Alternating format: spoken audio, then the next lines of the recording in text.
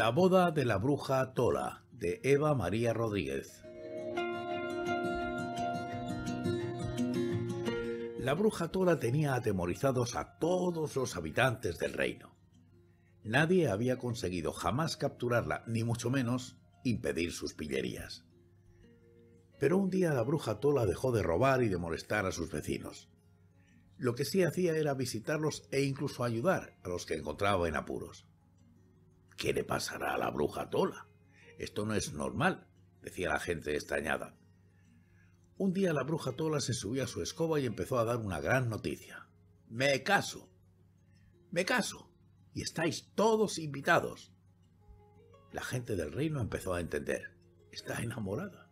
Por eso está tan contenta y amable, decía la gente. En el reino todos empezaron a preparar sus mejores galas para el día de la boda de la bruja Tola. Dicen que va a tirar la casa por la ventana, que no va a faltar de nada, decían unos. El novio viene de otro reino, uno muy lejano, y los vecinos están encantados con la boda, decían otros. Solamente había una voz discordante que llevaba la contraria a los demás, la del burro Casildo. Pero no os dais cuenta de lo que pasa, decía el burro Casildo a todos los que se encontraba. ¿No veis que después de la boda va a ser todo peor? En cuanto se le pase la ilusión del principio, la bruja Tola volverá con sus pillerías, y será todavía peor porque ahora tendrá un compañero. ¿Por qué creéis que están tan contentos en el otro reino?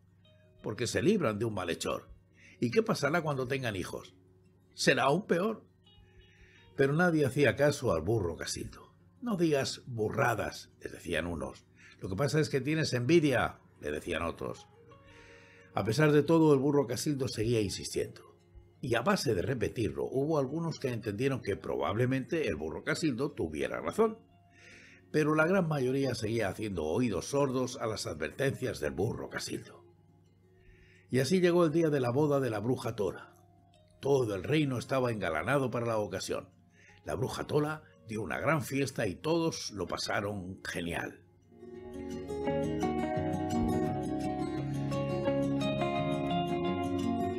Pero días después, cuando la bruja Tola y su marido volvieron de su viaje de novios, se desencadenó el caos. Entre los dos saquearon todos los graneros y se llevaron todo lo que les apeteció. Incluso se permitieron el lujo de destrozar varias casas solo para jugar y competir a ver quién de los dos era más destructivo. Cuando por fin se retiraron, el burro Casito rebuznó a los cuatro vientos. Os lo advertí, y ninguno me hicisteis caso. Todos los vecinos del reino tuvieron que darle la razón al burro Casildo y reconocer su error. La próxima vez que organice una fiesta será mejor organizarse para capturarla, ¿no os parece? dijo el burro Casildo.